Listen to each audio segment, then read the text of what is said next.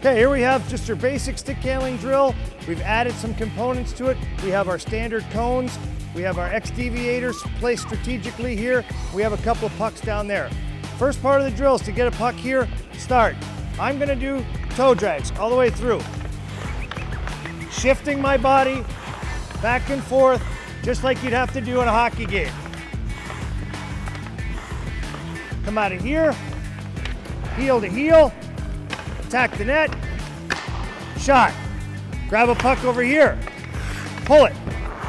Protecting the puck, come through, under a stick, protecting the puck, come through again, under, protecting the puck, attack the middle, under, shot, finish in front. Do quick hands, come up over the top, just a quick soft touch, pulling the puck back with the toe of the stick.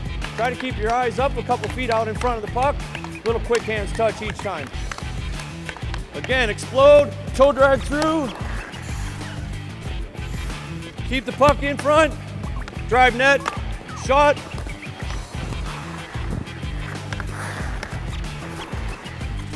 Quick pull, try to get creative here. See you pull the puck up.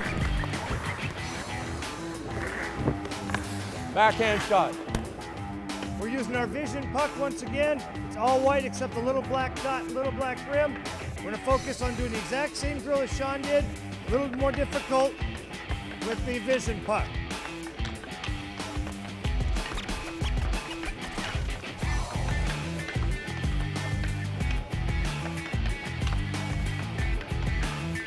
Get creative now on this one.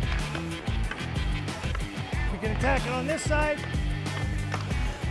pull our puck out, come through here, heel to heel around, pull, pull, heel to heel around, over, heel to heel, toe drag, upstairs.